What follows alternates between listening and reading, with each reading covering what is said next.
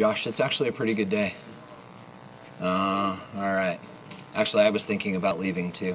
Um, hey, so guys, I was originally thinking we weren't going to do this just for the sake of time, but I'm realizing it's probably a really good way to spend the next 90 seconds.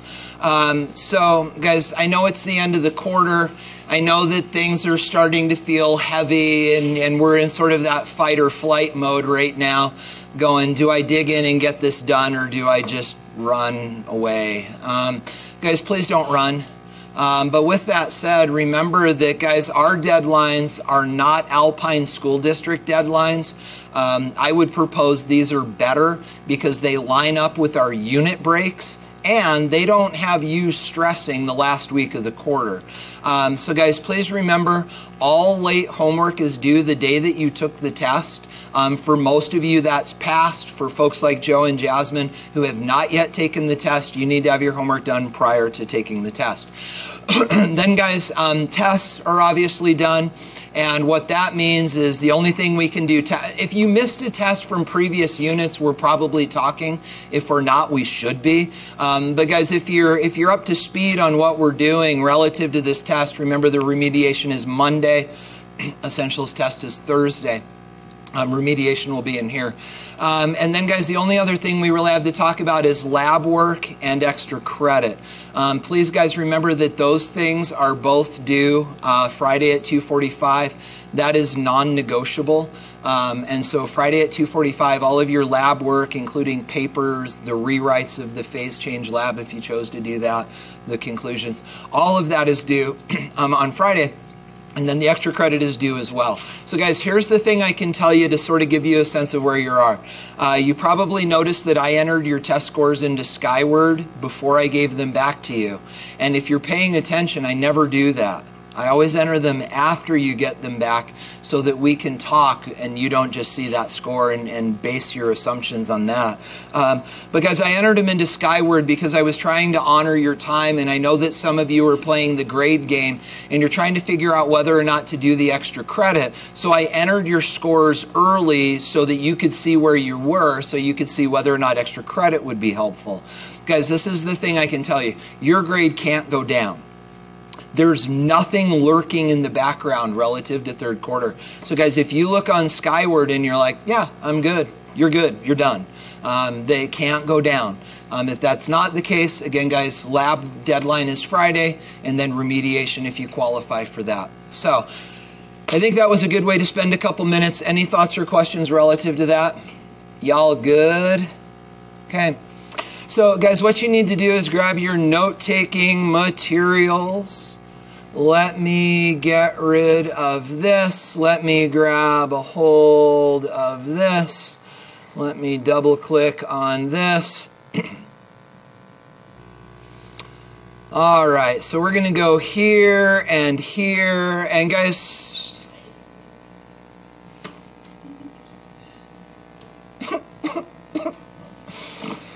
what do they say about the shoe the shoemaker's children have no shoes?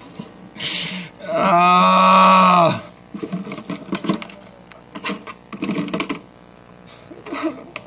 This actually brings me quite a bit of joy because I get to throw things at you. Who else? Come on, Kanon. You need a calculator just because I. Do you need one? Oh, I'm so glad.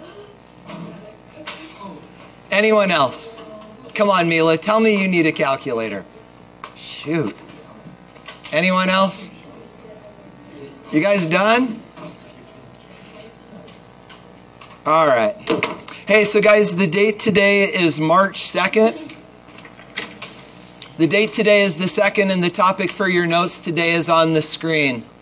As you write down the word significant figures or significant digits, some of you are going to start to develop a little bit of an eye twitch because you're like, oh, shoot. I remember kind of doing that back in September. Maybe I remember that significant digits communicate accuracy in measurements. And if you're really pushing the boundaries, you might even remember there are four rules for significant digits. Non zeros count, final zeros after the decimal count, trap zeros count, and nothing else counts. So, guys, we just did our significant digits review. You do not need to know this today. I will formally put it up on the screen in a minute, but I probably won't even give you time to write it down. Um, the bottom line, guys, is if you don't remember significant digits, you need to go back in the calendar to those days at the end of at the end of August and the beginning of September when we went over this, and you need to refresh your memory. Yeah, that's on you. Um, so, guys, understand that when you walk in here on Friday, the assumption is that you have refreshed your brain enough on significant digits that, that you remember how to do this. So, guys, we'll do that for a couple seconds, and we will look at a couple examples just to get the juices flowing. But, guys, the remainder of our day is going to be all about formula mass. Um, this is going to be a great bridge between the test that you just took and where we're headed into this next unit. And, guys, it's all about calculators chemistry is about to become mathematical and frankly a lot more interesting. Um, but the, the changes are coming. So here we go. You ready? Boom and boom. That's it. I'm not going to shoot a picture if you want. But guys, we are not going to give you the time to write this down. Um, I don't know that August 24th is actually the date that we did this. Frankly, I did that last year and forgot to change it sometime in August. Um, but guys, this is significant digits. They're, they're digits that communicate accuracy. There are four rules. And then mathematically, remember that when we are rounding answers, uh, when we are uh, multiplying and dividing, we round to the least accurate factor, a few significant digits. When we're adding and subtracting, we uh, round to decimal places. So, guys, this is unlike me, but I'm not going to entertain questions. I'm not going to ask what you want to talk about because it's too early. You need to go back and you need to review this stuff. And then when I see you on Friday, we'll, we'll turn the dials a little bit and we'll fine tune. Um, and then we're just going to use these with the assumption that we know them. Um, so, guys, with that said, maybe we could do this in the next three or four minutes. Um, guys, let's just let's let's test for echoes a little bit. If you have no idea how to do this, that's we'll I'll actually do the first one with you to remind you. Um, because I'm going to ask that you spend just a couple seconds and and and let's use this as a measure. So if you can do this right now, you don't need to review. You're good. If you can't, that's simply a message to you that you need to review. So, guys, I'm going to do the first one with you, and then I'm going to give you a couple seconds to do the rest. So, guys, do this with me um, just mentally to make sure you understand what's going on. So, guys, we've got this number 314.700. The 3, the 1, the 4, and the 7 are significant because those are not zeros. But then, guys, from there, there are only two types of significant zeros final zeros after the decimal and trap zeros. Are those zeros either one of those two? Are they trapped? No, they're not trapped, but Michael's saying confidently yes, and he's right. Which are those zeros? Final zeros after the decimal. Guys, final means at the end. After the decimal means after the decimal. A negative example of that is this. This is final, but it's not after the decimal. So, and then a negative example of the other is this. This is at, well, there we go. This is after the decimal, but it's not final. So guys, that one on the left, it counts as both final and after the decimal. So how many significant digits are in that number? Six. So you could just write the number six up above it to tell you that that's six significant digits. Then, guys, from there, the number four in parentheses is asking you to round this to four. And the way to do that is you go one, you go two, you go three, and you go four. So we're going to round to that place. So then the question becomes, what do we do with the zeros? And guys, remember the rule. If you're rounding a number that's below the decimal place, you chop the places off. You don't replace, you remove. So guys, this rounded to four significant digits would be that. Let me give you, literally by the clock, two minutes to do the rest of these in your notes. Then we'll go through and we'll do these together. Um, answering questions along the way, but not fully reteaching because you haven't reviewed yet. And then, guys, it's going to take 11 more minutes to cover the rest of the material today, and you're going to get your homework done.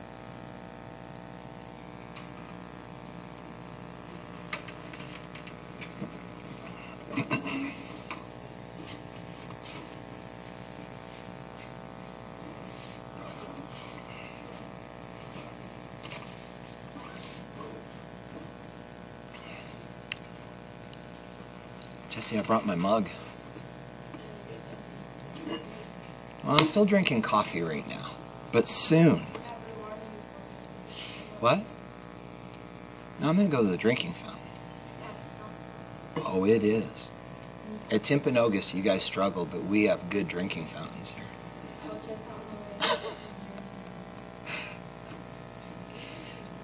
Uh,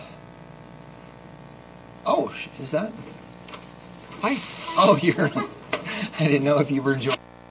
Do you want to learn about significant digits? I can't say that I do. That's fair. All right.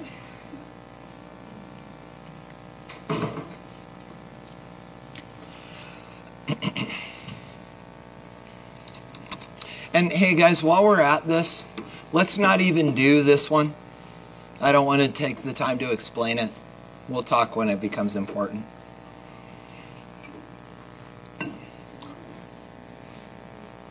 Jess? The one above it? Oh, shoot. Does that one? No, that one's fine. That one we can do. We'll talk.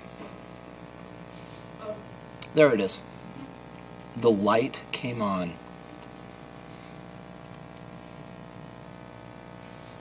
So, guys, we're looking at about 30 more seconds. Again, the goal here is not for you to be proficient. The goal here is for you to figure out you're not proficient. Proficiency comes by reviewing.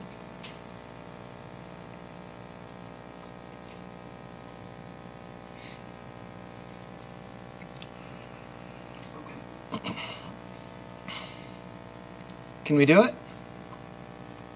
So, guys, let, let's let's call that quits, whether you're done or not. Um, let's let as much as you got done be your measure of where you at where you are at with this material. Um, so, guys, I'm going to do this relatively quickly, but I I am happy to slow down if we need to talk about things. But, guys, talk to me about those zeros. Are they trapped? Matt, make sure you're catching this. Are they trapped? No. Are they final zeros after the decimal? No. So how many significant digits are in this number? Well, there's four. The one, the seven, the seven, and the five. Um, so guys, this has got initially four significant digits. What we're being asked to do is we're being asked to round to two. So I actually, at least mentally, but physically in front of you, I like to sort of find where my significant digits are that I'm rounding to. Um, draw dots if you want. But then, guys, at this point, we look at the next digit, and that's the second seven, which tells us to round up. So, guys, that brings us then to 0.0018. So then the question is, what do we do with the 7 and the 5? Do we replace them with zeros or do we cut them off? Well, guys, let me show you the wrong answer. We do not replace them with zeros. Do you now see why? Those zeros are now significant, and that's four significant digits. So, guys, we do not replace them with zeros because those zeros, by definition, become significant. So, instead of replacing, we remove, and this would be that to two significant digits. So, guys, continuing on then, and you know what? Maybe what we'll do is we'll just stop at number three. Um, what about that zero? Significant? Why? Trapped. Good, good, good. Okay, so guys, that is four significant digits. They all count, the zero's trapped. But then what we're being asked to do is we're being asked to round to two. So then we look at the next digit, and that's a nine, so that rounds up. So, guys, that leaves us with 81. But now, what do we do with the 9 and the 2? Well, let me show you the wrong answer. The wrong answer is this. Because, guys, if you do this, you've just decimated that number. This number is 8,000. This number is 81. That's not rounding, that's destroying the value of the number. So, guys, we've got to replace these with zeros um, because we need, to, we need to maintain the integrity of the number. So, guys, I'm going to stop there. Um, with this one in scientific notation, you just ignore the exponent and deal with the root of the number, and we'll talk about that last one later. So, Alex, I'm realizing you weren't with us back in September to learn this. Were you at Timpview? You were at Mountain. Have you done this? So go back to wherever that day is in August-ish and uh, watch the screencast. So, all right. So, guys, we're going to move forward. I'm not even going to ask about questions, but I am going to ask you to do this. Guys, in your heart of hearts, look at your work on your paper. And if you know you don't know this, you need to address that. So if I, once you've done your part, if you want to talk, that's fine. Matt, I'm going to need your feet to point in my direction and not Joe's direction, and uh, we're going to get started. Um, so, guys, this is where this now becomes new. And um, so we're going to go here and we're going to go here. And guys, this stuff you're going to, well, eh, you're okay. I'll tell you when to start writing stuff down. So, guys, today's a transitional day. It's going to be fast. What we're going to do is we're going to take these chemical formulas and names that you had the chance to demonstrate mastery of on the test, and we're going to start figuring out how much these things weigh. So, guys, what we're going to do then is we're going to take these masses off of the periodic table. Glance at your periodic tables with me just quickly. What color are the masses on the periodic table? Red and small, right? And those numbers you probably don't remember are in the units, atomic mass units, the mass of a proton. Doesn't matter. Um, but guys, those masses in the periodic table are in AMUs. What you're going to do is using that data, you're going to figure out the mass of compounds. So guys, without writing this down, this is the deal. So this is our transitional thought. Looking back at the last unit, you know how to write the formulas for compounds. Moving forward now, you're going to figure out what these things weigh. But along the way, guys, you've got to figure out what these elements or these compounds are made of. That is the concept of composition. So, guys, rather than write this down, watch. And if this makes sense, you're gold. So, guys, the idea is this magnesium phosphate. Write that down in your notes. Make it kind of bigger.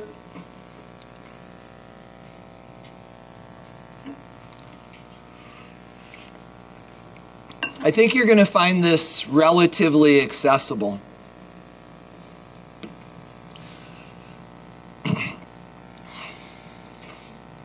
So, guys, magnesium phosphate is obviously made of elements. And, guys, you got to understand this phosphate is not an element. You don't find phosphate on the periodic table. Where do you find it?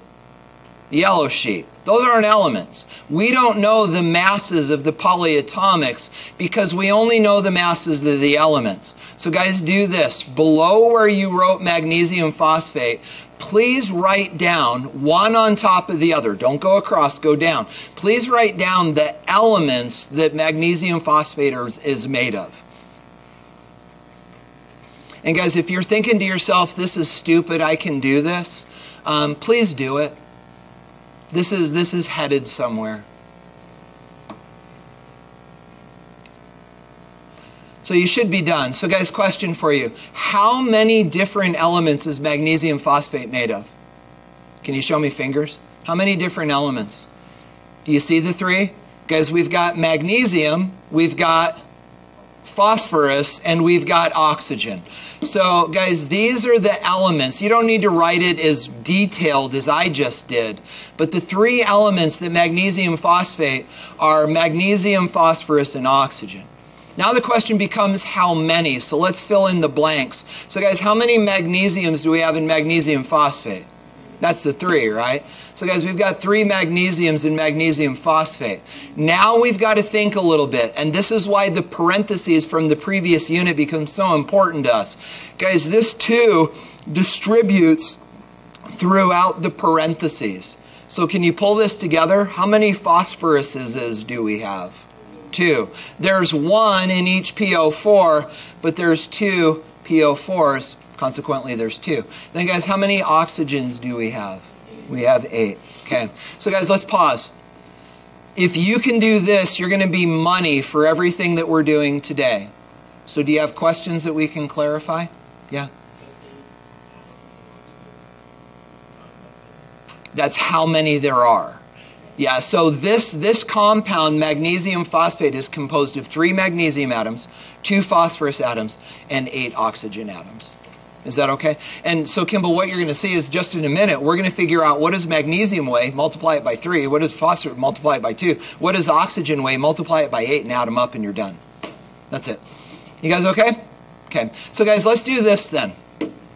Let's talk about where we're headed with this, and let's take a look at the substance. Uh, and I'm just going to tell you what this is iron 3 sulfate. If you're looking at this and going, wait, why is that iron three if there's only two irons? You probably need to go back and review last unit. Guys, the three does not tell you how many, it tells you the charge. And in my brain, I can do the math. Sulfate's minus two times three is minus six. This is plus six divided by two is three. This is iron three sulfate. If you can't do that in your brain, you're fine. But guys, what I would like you to do is this. Looking up at the thing that we did with magnesium phosphate, please do something similar with iron 3 with iron 3 uh, sulfate how many of each atom is in this salt. Oh, look at us talking like chemists.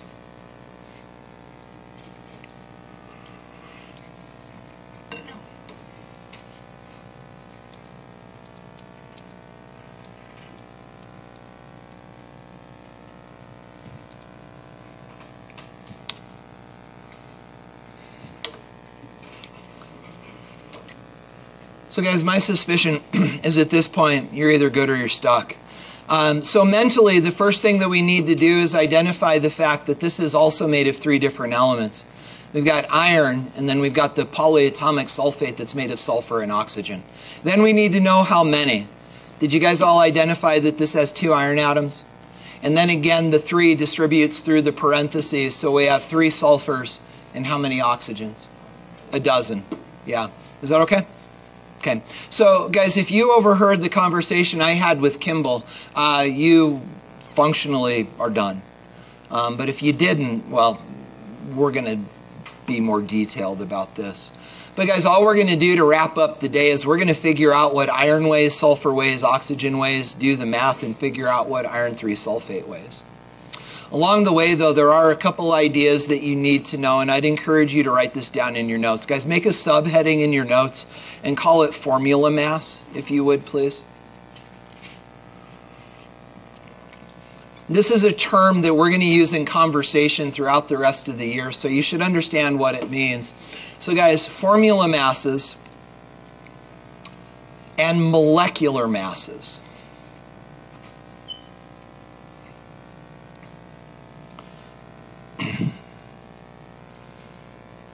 In your brain, these are going to be interchangeable.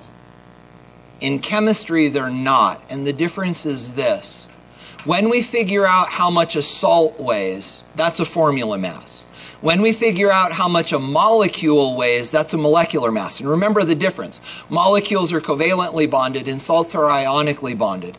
And so, guys, it's really not okay to say what is the molecular mass of NaCl because NaCl is a salt and not a molecule. But functionally, they're the same. But technically, formula masses are salts, molecular masses are molecules. In either case, this is the mass of what we call a formula unit of a compound.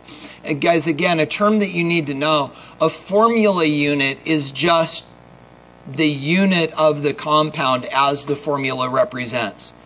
So a formula unit of magnesium phosphate is Mg 3PO42. It's the stuff we were just looking at. Don't get caught up in the words.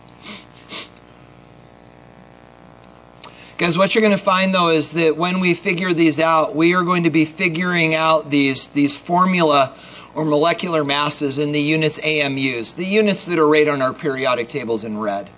So we're going to do two of these in the next four minutes and we're going to be done and you're going to get your homework done. Actually, it might be five minutes, but we're almost done. You guys okay? So, guys, I know we've sort of done this to death, but please do this with me one more time because now this is taking this full circle. Um, sodium phosphate.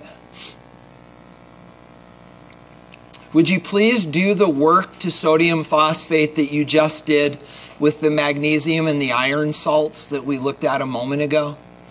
Figure out the composition how many of each atom are these made of? And guys, I really would encourage you to spend the time to physically write this down.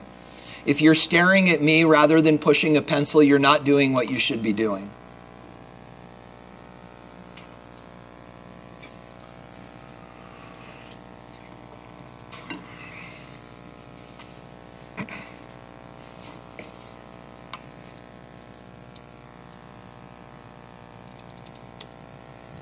Guys okay?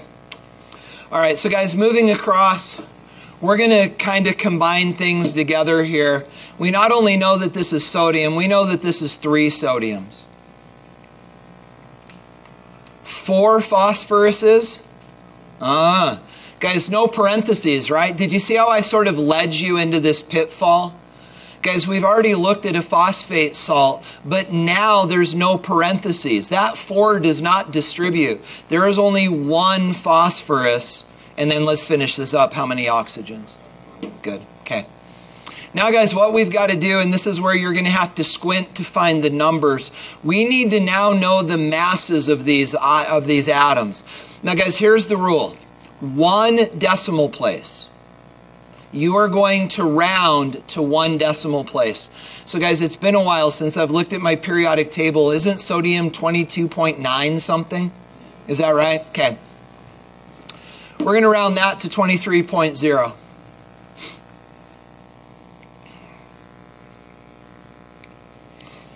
Guys, I seriously don't remember phosphorus. It's over on the, le- the left. Can you say it again?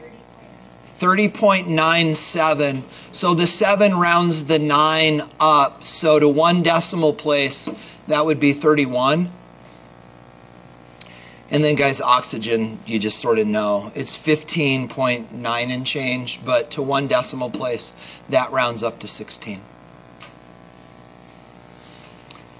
Okay, so guys, now we're in a position where we can figure out the mass of the compound. So we need to do the math. Grab your calculators, or shame on you, grab my calculator. And guys, let's do the math. So 3 times 23, that's 69. Notice, guys, that the abbreviation for AMUs changed to a U. U is the abbreviation for AMU. You can use either one. Then, guys, 1 times 31, that's math even I can do. And then, guys, 4 times 16 is 64. Now, in order to figure out the mass of the entire thing, we just add all of those up. Remember, when we are adding, we conserve decimal places, and I get 164 atomic mass, point zero. Point zero is important. Atomic mass units. Questions? You okay? Okay, so guys, let me, we're going to do one more, but here's the deal. When you look at the homework answers, this is what you're going to see. When I put this key together, I spent the time to type the answers up at this level of detail. Guys, please, unless you absolutely have to, please don't do this. This is going to become a glaring waste of time. Guys, today, these masses are sort of the point. But you're going to find that starting on Friday, these are a very small piece of a really big puzzle. And if you're spending all of this time to figure this out, your homework assignments are going to take you weeks. So, guys, let me show you how to do these more quickly. Understand, the answers say this when you look at the key, but you don't need to do that. What you need to do is this. Guys, do this with me.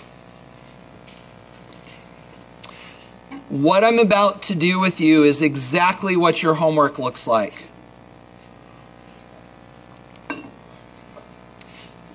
This is how you're going to do the homework. So, guys, you'll notice that we are not given the formula for the salt. But based upon the skills that you learned in the last unit, we can write this chemical formula. So, how do we do this?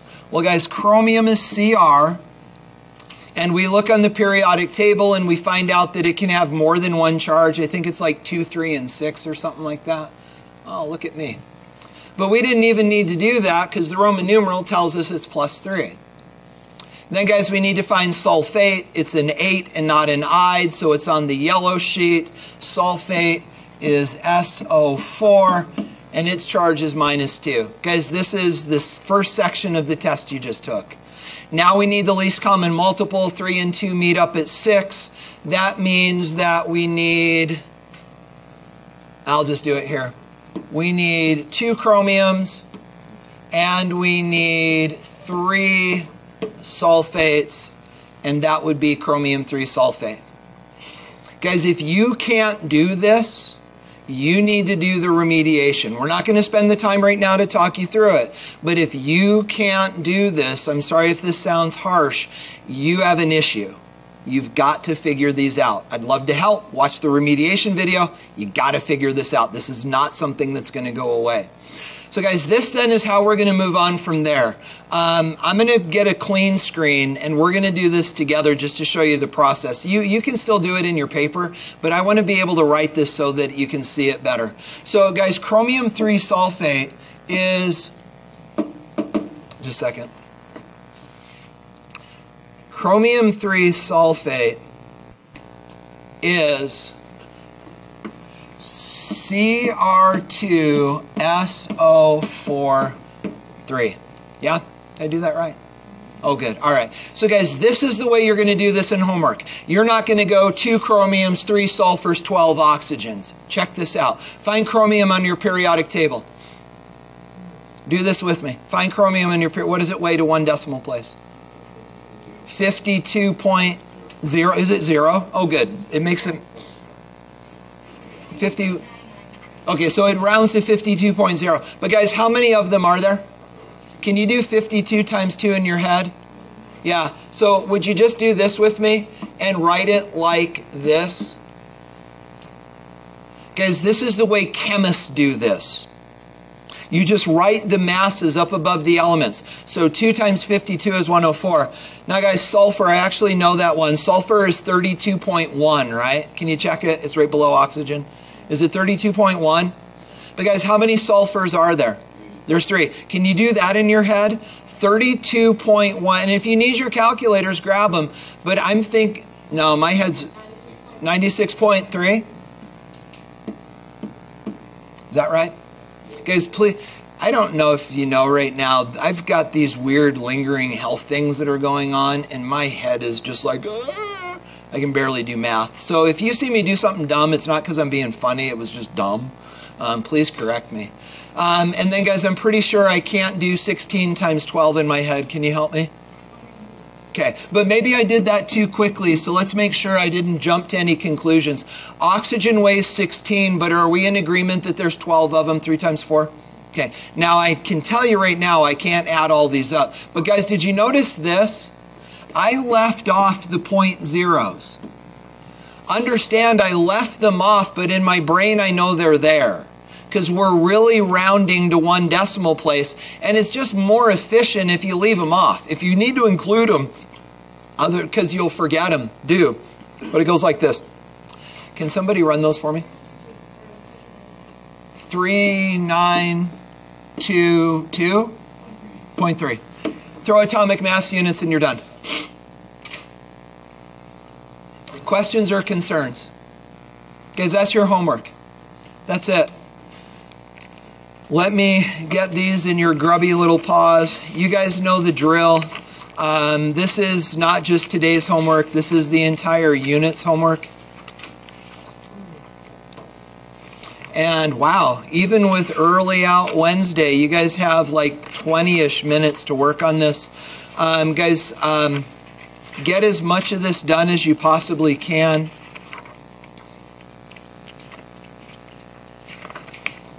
Can I recycle for you? Oh, yeah. Look at me being an environmentalist. All right, so guys, um, give me a couple seconds to print the answers. Is that helpful, or do y'all just look on your phones? Phones? Does anybody, would anyone like me to print these? You okay? Okay, so guys, the remainder of the time is yours to wrap this stuff up. Um, before we do, well, actually, you guys get to work. Joe and Jasmine, I still need to talk with you guys about the test, but let me talk to Mr. Jarrett first. Let me stop recording.